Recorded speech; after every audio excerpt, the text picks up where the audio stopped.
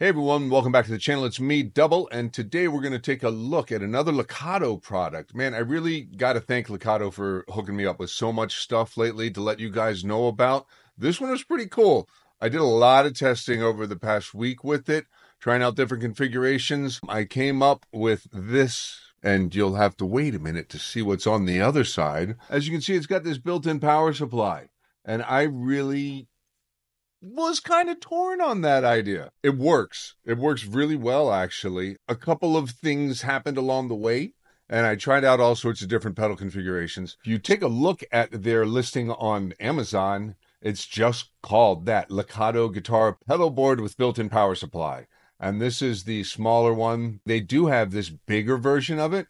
I think with the same power supply underneath of it, I'll express all of my pros and cons about this thing because I do have my opinions about pedal boards with built in power supplies. I have to say, this one didn't let me down. I did have a couple of hills to climb along the way. Let's say that. Uh, because certain configurations of pedals worked really well, certain ones didn't. That's just kind of how it goes with certain pedal power supplies, especially when it's just got a limited amount of output. So let's rewind and take a look at everything that we get with this pedal board that has a built in power supply. Even though Lekato sent this over, everything I say about it is going to be my own opinion. They haven't asked me to say anything. They just sent this along for me to keep and let you guys know about. So here's what I think about this thing.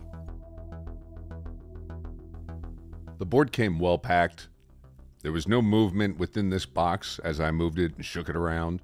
It has a really high quality bag that fits the board very properly. I'm going to get to something, just something to think about when you put your board back in here once you've loaded it up. I'll get to that about halfway through the video or so with my thoughts. The bag does have two zippers, one on each side, easy to open. It's got these little feet at the bottom just what you would need to move around with a small pedal board. I opted to go for the smaller pedal board just because I really am into having just a smaller setup these days, and I think there's something to be said for it. I have a massive board that I absolutely love that I'll never get rid of, but this is going to be just what I need here to pop on my desk. What it comes with is just about everything you need to get going. It's got Velcro, the side that you would put on the pedal because the pedal board actually has the other side of Velcro on it. It's got like eight power cables that will go from the power supply over to your pedal. And then there's the main power supply for your pedal power supply. It's an 18 volt, 1.2 amp brick that you plug into the wall. Oh, yeah, and it also comes with the zip ties. Unfortunately, it didn't come with any of the little stick on zip tie stays. That would have been really helpful. And once you get this thing all unwrapped and take a good look at it, it's really cool how the power supply is integrated right into the board. It comes with seven 9 volt spots, a 12 volt and an 18 volt, as well as a USB to power it. Now, at the very other end of the USB, the very first one is the 18 volt input. I do wish that there was some way to keep that isolated so that you don't accidentally plug the power input into one of the outputs. Just make sure you are very aware of what you're plugging in in the back. I tried this, like I said, out with a bunch of different configurations. Here I'm using a couple of cheaper pedals. This board came in right on time. I was getting ready to film a second part of the video that I just put up not long ago about using an inexpensive booster as a preamp along with a cabinet IR pedal. I decided to go ahead and move a bunch of that stuff onto this board and test out how well it worked together. Now, this came out really, really good. That all of these pedals sounded just fine and powered up great and there was no weird noises or anything like that even with some of these kind of cheaper pedals you know something that you do have to remember when you're setting this up is that the cables that they give you are right angled on one side and straight on the other. So I opted to put the right angled ones in at the actual power supply.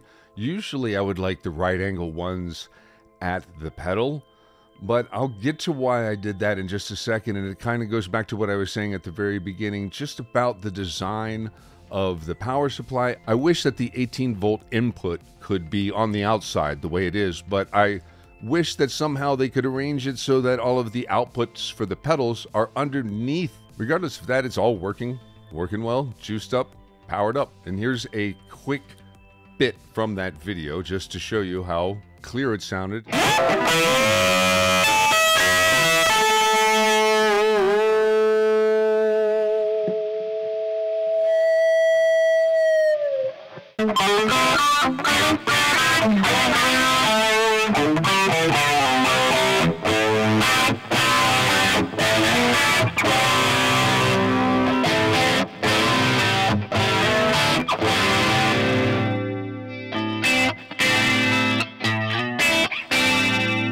Like I said, I tried this board with a bunch of different setups, and my real, really the only problem I had once I started trying different things was this wireless that I have. This wireless unit really created a lot of noise. So underneath that distortion pedal, I popped a hum eliminator because that thing right there is just a little noisy and that did the trick. Any odd noises that were being brought out from the power supply because of that wireless unit was was was fixed up.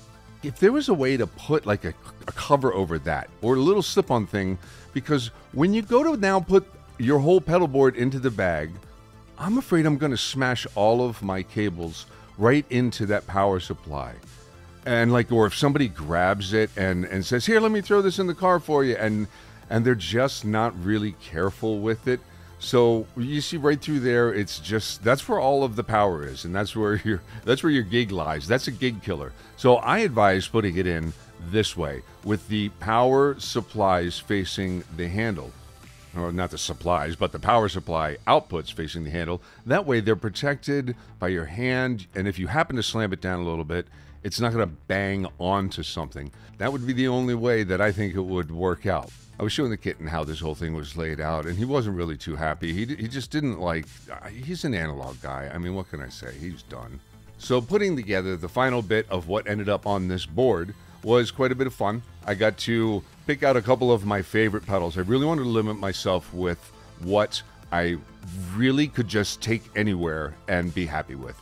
So, the Tonex pedal and a reverb and a delay and some wiring and a little bit of creative velcroing and next thing I knew, I had uh, kind of like a, a budgety, boutiquey board here. And again, I had to use the hum eliminator here because that wireless that I have, eh, it's okay.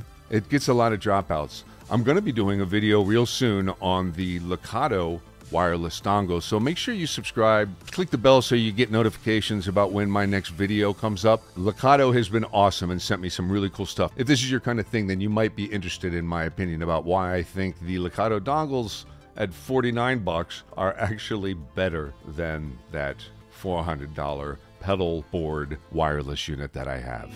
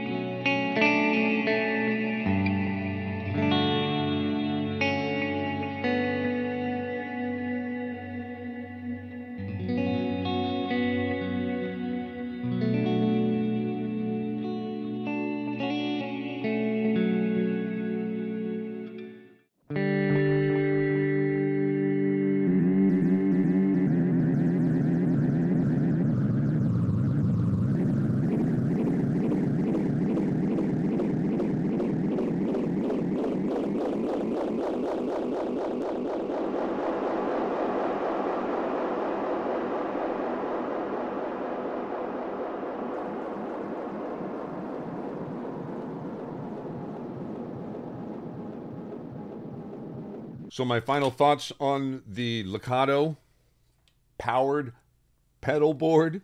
Uh, this mini one is great. I mean, I, I'm very happy with the way that this all came out.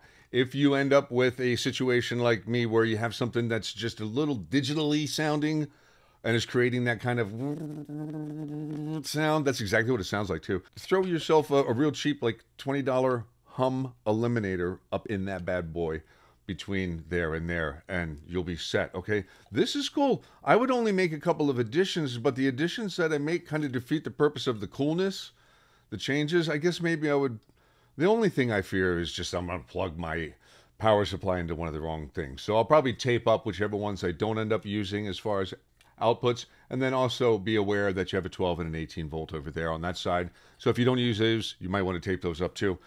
Lekato, thanks again for sending this over, and thank you guys for being here. I appreciate you watching until this point of the video. I'll see you at the next one.